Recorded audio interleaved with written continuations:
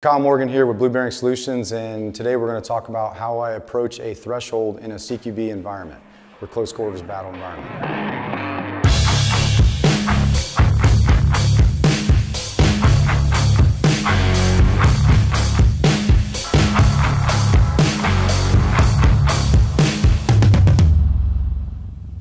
This video is, is gonna, I'm gonna touch on you know, the different types of threshold uh, assessments and then the movements uh, up to that threshold and then through the threshold, kind of some of the actions that, that you can have or, or take to make your, your movements uh, more efficient and also allowing yourself to, to increase your processing time. So hope you guys like this video and let us know in the comments and follow us on Patreon for more exclusive content.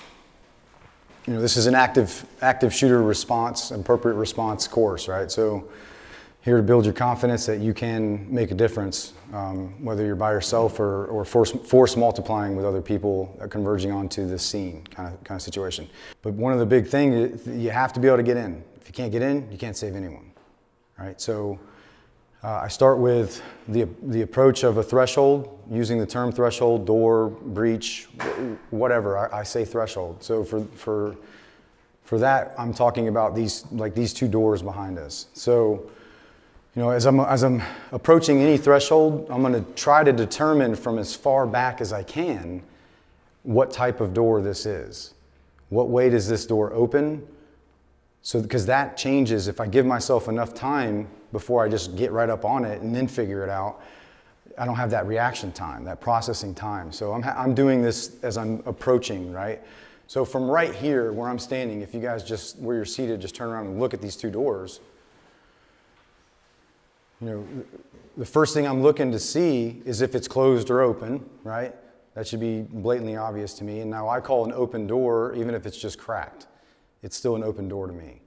Um, you still, because you can use that open threshold, that's, that's giving you a, a, a look in depth into what's next. So the two things I'm always looking for, well, my, the shooter is the first thing I'm looking for, but as I'm, that's the, at the forefront of everything I'm doing, but getting, as I'm navigating this you know, dynamic environment, I'm, I'm looking to see if, if doors are open or closed. And if they are open, I'm looking in depth from as far back as I can you know, through that room because these rooms, especially with American style and European construction, you know, they're made with you know, nice straight lines for the most part, 90 degree angles and 180 degree walls and things like that. So that tells you a lot about in depth. I can figure out, you know, if that door were open or cracked, my approach to get the look to see that hard corner over there tells me what, what type of room this is. At least I can paint, start to paint that picture from as far back as possible. And all that data I'm continuing to gather as, I, as, I, as I get to, you know, because once I get to that door in this environment using these hostage rescue techniques, like I'm getting through that door. And then I'm going to take it like a room and then establish another foothold and another foothold and another foothold. Simplify a, a chaotic environment. So these two doors being closed, I, am looking at that and I see hinges on this door. So when I see hinges, that tells me it is some sort of pull door or outward opening door. It's going to pull back towards me.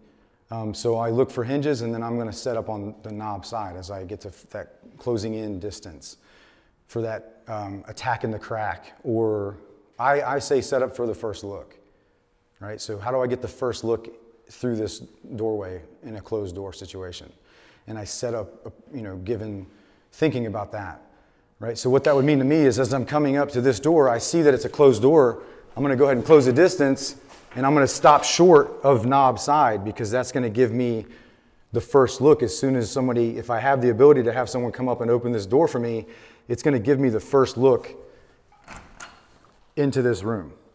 Does that make sense? Now, this is I'm going to talk about if you have someone else with you, and then everything else is if, if it's a solo response, there's just some small tweaks you got to It's just a little bit more dangerous, more difficult, because you can't, because collectively we buy down the risk, you know, with our experience and shooting, moving, and communicating together. So another term I can use is pull and hold stack right.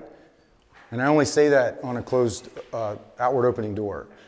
I don't say that on a push door or, or an inward opening door. So that way, if you hear me give commands as far as setup, you know it's a closed door. It's just which side of the door we're trying to stack on to get it to, to get the team in efficiently. So pull and hold stack right. So if people were around me, they could, if they had time to come across. If, they're, if they don't, they just split stack it, it's fine. But if there's two of us in this situation, I'm gonna be ready to get that first peek. So just barely crack it for me. So I get this first peek. I see right away, I see that hard corner over there. There's probably about, if there's a human sized void that you can't see, then you have to, you have to determine based on likely you know, percentages of, of, a, of a, a larger threat to me, I go to the unknown, right? So that, as far as which direction, once I get through this doorway, I'm going to go towards that higher possibility of a threat. And to me, I can already determine that there is more of a threat to the right, potential, right? Because there, yes, there could be a person right there, but for me, like I'd much rather plate this way. And when I say plate, I want to think about putting your plates in between any of your mates. Anytime we're plugging anything or taking you know, hard corners and things like that, digging corners out.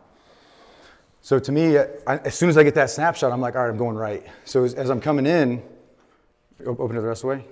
I'm going to step center. When I say step center, oh shit, it's a hallway, which is fine. You can. When I say step center, on a closed door, I have to, I need to do this because if I don't, and I just go path of least resistance, for one, it's really hard for me to make this button hook turn if I haven't given myself a little bit of space here. And it damn sure is hard for me to, to, to process anything in that snapshot through the center of the room, right? So that's where when I say step center, I don't mean here, right? Because if that, if my muzzle gets sucked past this doorway in any way, I've gone too far. Because as soon as this thing breaks this threshold, this muzzle, I need to be digging that corner out, right?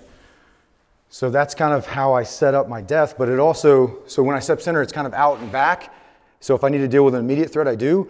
And then when I do the corner, I come in like that. So it, it really is, think about how am I gonna get my hips from centered up right here to deal with an immediate threat to then dig this corner out as far as I can. So this is the harder side for a right, right-handed shooter uh, the, this right hand button hook.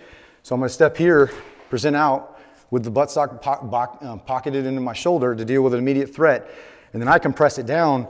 And then you look at my foot here. I already know I'm going this way, so I'm gonna set up my body to round this corner.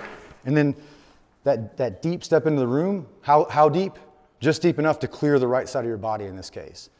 And, not, in your body, an extension of your body is your holster, your equipment.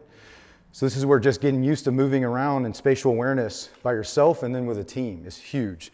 So I step in, clear my body, and then I continue down to dig the rest of that corner out. Um, it's going to be a little easier if I decide to, to step this way. Um, just because I'm a right-handed shooter and that side's going to. That's super important with a closed door. So leave it open real quick. So if this door is open, and I know I want to go in there, and I say I'm right here, and it's equal distance if I were to travel this way or that way to this door, which way would I go? This way. Because it's, it's allowing me to do all the things that I can do from way the fuck back here. So all that, that, center, that center snapshot and everything happened from way back there now. Versus if I rounded the corner this way, and now I may have saw a little bit into the room from back there, but I'm closing myself off. And now I might as well, I have to step center again because I'm going to surprise myself. So it's about giving yourself as much processing time as you can. So as I look at this door from back there, I see that there is no hinges. I can see that from that corner over there looking back this way. So now I just need to find the knob. So as I'm coming around, you know, I see that the knob side's here. Yes, this is a really tight crack but I need to back up and use this the best as, uh, this cover of the threshold the best as possible, but still giving me the first look into the room, which will go ahead and open it a little bit. Boom. That's the first snap I get into the room, and it tells me, as I'm looking, I see that wall, that back wall there, and it tells me it runs deep. I can't, there's, there, it, it continues to go, right? So it tells me that this room, yes, there is a space right here that I haven't cleared yet, but I know as I step center, push it the rest of the way. As I step center here, I've now seen from here all the way over, and I see this, this long wall here. So to me, I'm gonna go left because there is a little bit of, a little bit that I haven't cleared in this corner. Otherwise, I've cleared this whole room myself, all from right here. As, as long as I'm seeing this and, and, i know what to look for kind of thing. So as I step center, I see this. I'm going to press down and then take this corner here. Um, and then if you're the breacher, breacher breaches, man. So a lot of people try to, you know, do all this stuff with their gun up here. Like I, I like to just put my back onto the wall if I'm coming across the breach and look at him. I can keep my gun, my hand on my gun down here, but I need to be able to breach this door. And the progressive breaching, the next step is now maybe need two hands, right, to get this thing open. Or maybe I need to kick, right? So, you know, just know that you're gonna have to progressively breach these doors potentially. Or get your hands on a tool or uh, some sort of other method of entry. And then as far as syncing this up, you know, there's, I, so here's a good example of this is this is why I don't, I don't teach the muzzle wave thing because I know that as soon as go ahead and open it, or no, we sync this muzzle wave up, I'm here and open it, and as soon as I come down, like there's gonna be a dude right there. Or they open the door as soon as I was like starting this movement. And I tell people if I haven't done this a thousand times, like from here, brought it to a threat, then I'm not doing it. I want my rifle to be in a position that's consistent so I know the head nod, up, down, I can bring it up quick. And I'm looking right over top of my sights.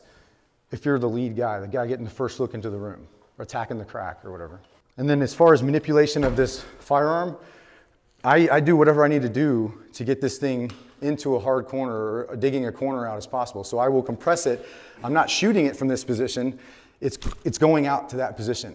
And that's why I utilize my sling with the tricep of my arm and, the, and, the, and my upper body, my back, to lock this in, regardless of the position the rifle is in. I'm able to, you know, get it out into that full presentation because that's where it's meant to be fired from. Because I hear that a lot on social media where people are like, oh, you know, if I had the ability to come through this door with the buttstock completely open or, or up into my shoulder, I would. But if most thresholds are about what 32 inches or 34, like me, I'm not getting through this threshold. So you're going to have to either um, sacrifice the gun not being up all the way to get it in the corner, or as I'm stepping in, I'm able to present it right to that corner. So, and I've timed both. It's, it's going to be faster doing it the way I do it. Whatever you do, just understand why you're doing it. That's all I can say about that but the gun is designed to be shot from the pocket of your shoulder. Just like if I tell you, if two well-placed shots and move on with these paper targets, because I can't make them fall and die. So two well-placed shots, move on. If, you've, if you threw a shot, followed up with a well-placed third and move on.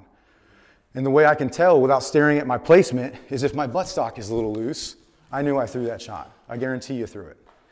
When we're talking about like surgical shot placement and not harming a hair on that hostage's head or the innocent people in these active shooter environments.